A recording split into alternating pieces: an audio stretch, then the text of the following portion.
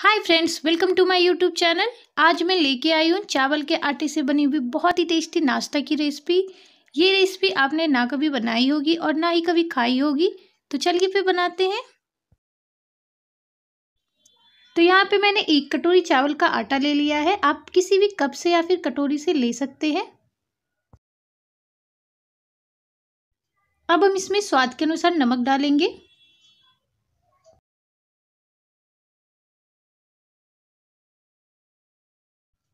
अब हम इसमें आधी चम्मच जीरा डालेंगे। तो इसे एक बार अच्छे से मिला लीजिए। यहाँ पे मैंने पानी गर्म होने के लिए रख दिया है। चावल का आटा हमेशा गर्म पानी से ही गूंदे, नॉर्मल पानी से ना गूंदे। तो अब हम क्या करेंगे थोड़ा थोड़ा पानी डालते जाएँगे और आटा को गूंदेंगे। तो इकट्ठा एक साथ पानी ना डालें। इस आटा को हमें ना ज़्यादा गीला करना है और ना ही ज़्यादा सूखा रखना है। तो अच्छे से आटा को मिला ले।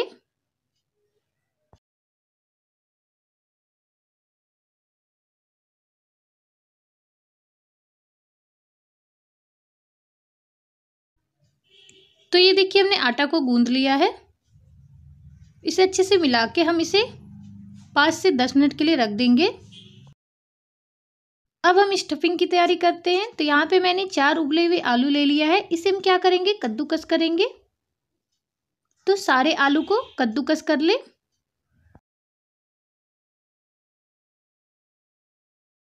तो आलू को हमें बारीक वाली जो कद्दूकस होती है, उसी से करना है। ध्यान रहे इसमें गाठे ना हो।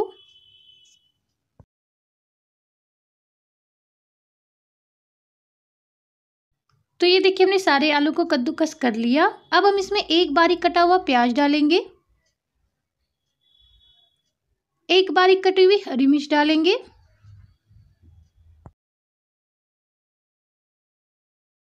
अब हम इसमें बारीक कटी हुई धनिया पत्ती डालेंगे। अब इसमें स्वाद के अनुसार नमक डालेंगे। नमक हमने आटा में भी डाला है तो उसी हिसाब से नमक डालिए। अब हम इसमें आधी चम्मच गरम मसाला पाउडर डालेंगे और सबको अच्छे से मिला लेंगे।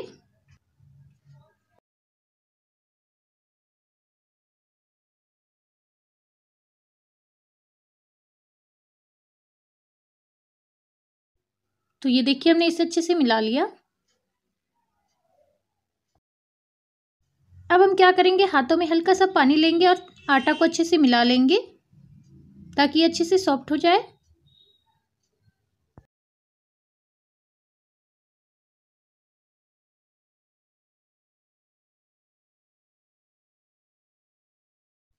अब हम इसकी तीन लोई तोड़ेंगे तो इसे बराबर भागों में बांट के लोई तोड़ ले।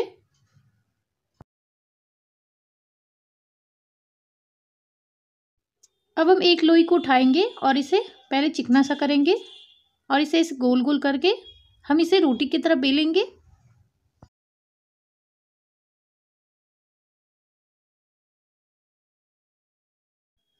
तो हल्का सा पहले आटा को छिड़क ले, ताकि ये चिपके ना।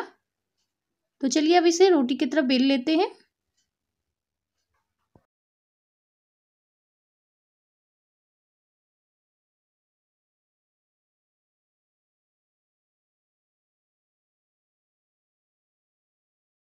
तो इसे अच्छे से चारों तरफ़ से अच्छे से बेलें ताकि ये कहीं मोटा और कहीं पतला ना रहे।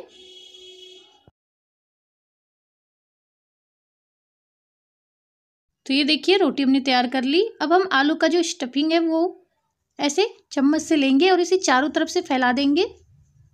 तो इसे सावधानी से चारों तरफ़ से फैला दें।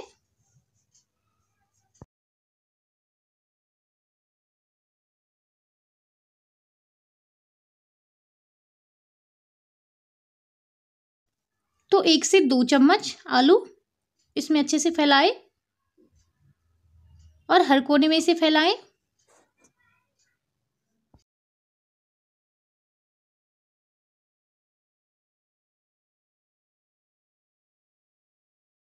तो ये देखिए, हमने आलू को अच्छे से फैला लिया। अब हम क्या करेंगे? एक साइड से उठाएँगे और इसे रोल की तरह बनाएँगे।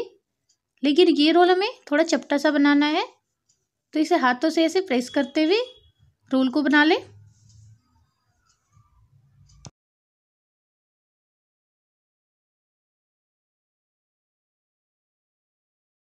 तो हाथों से इसे प्रेस करते जाएँ ताकि आलू अच्छे से सेट हो जाए और इसका जो किनारा है, इसे अच्छे से सेट करें।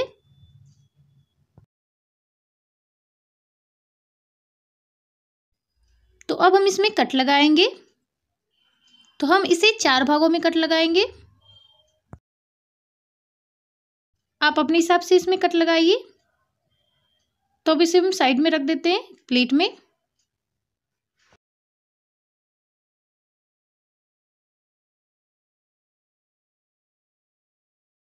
तो इसी तरह से हमें सबको तैयार कर लेना है। तो इसी तरह से इसे पहले रोटी बना ले।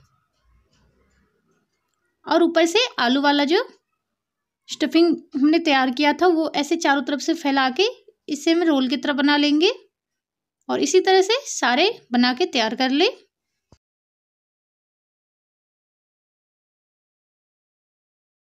यहाँ पे हमने तेल गरम होने के लिए रख दिया है। ध्यान रहे, तेल अच्छा सा गरम होना चाहिए। अब हम इसमें एक एक करके नाश्ता को डालेंगे। तो यहाँ पे हमने टोटल चार, नाश्ता को डाला है। गैस को अब हम मीडियम कर देंगे और मीडियम आँच पर हम इसे दोनों साइड से अच्छा सा कलर आने तक पकाएँगे। तो ये देखिए, एक से दो मिनट हो गया है तो हम इसे पलट देते हैं। और इसे स्लो टू मीडियम आँच पर ही फ्राई करें, तेज आँच पर फ्राई ना करें, नहीं तो ऊपर से जल जाएगा, अंदर से कच्चा रह जाएगा।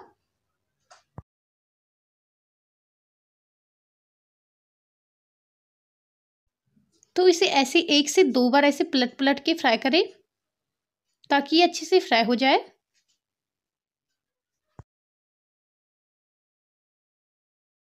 तो ये देखिए, नाश्ता हमारा दोनों साइड से अच्छे से फ्राई हो गया है। इसमें बहुत ही अच्छा सा कलर आ गया है तो अब हम इसे निकाल लेंगे।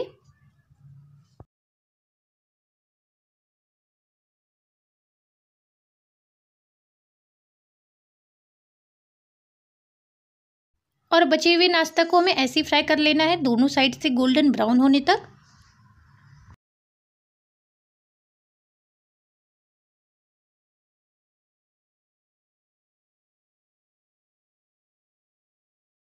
तो ये देखिए गर्मा गर्म चावल के आटे का नाश्ता बनके तैयार है। आप इसे मनपसंद चटनी के साथ सर्व कीजिए। आप इसे एक बार ज़रूर ट्राई कीजिएगा, बहुत ही टेस्टी लगता है खाने में। बच्चे भी मांग मांग के खाएँगे। अगर आपको ये रेसिपी मेरी अच्छी लगी हो तो प्लीज़ लाइक करें कमेंट करके ज़रूर बताएँ। अगर आपने अभी तक मेरे चैनल को सब्सक्राइब नहीं किया है तो प्लीज़ मेरे चैनल को सब्सक्राइब कर लीजिए। मिलती हूँ एक नई रेसिपी के साथ, तब तक बाय बाय